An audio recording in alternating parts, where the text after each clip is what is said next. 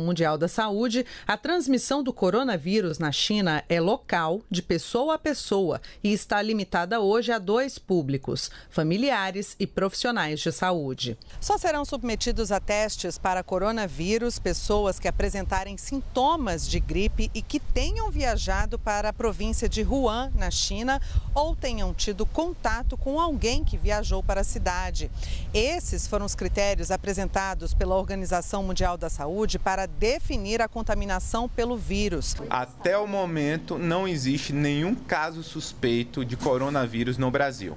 Essa informação é importante que todos vocês possam divulgar não temos nenhum suspeito de coronavírus no Brasil.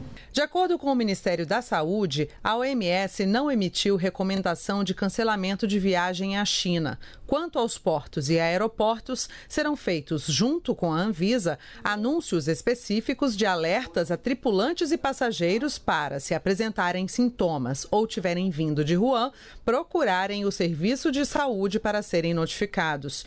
O governo afirma que está preparado se a definição da transmissão do coronavírus for alterada para uma epidemia pela Organização Mundial da Saúde. Nós, é, por conta disso, já ativamos o nosso centro de operação em emergência nível 1, para organizar a rede, organizar com os estados, estabelecer é, critérios de definição de caso importante e, principalmente, é, fazer uma atualização diária no sentido que novas informações venham a surgir a respeito desse novo vírus.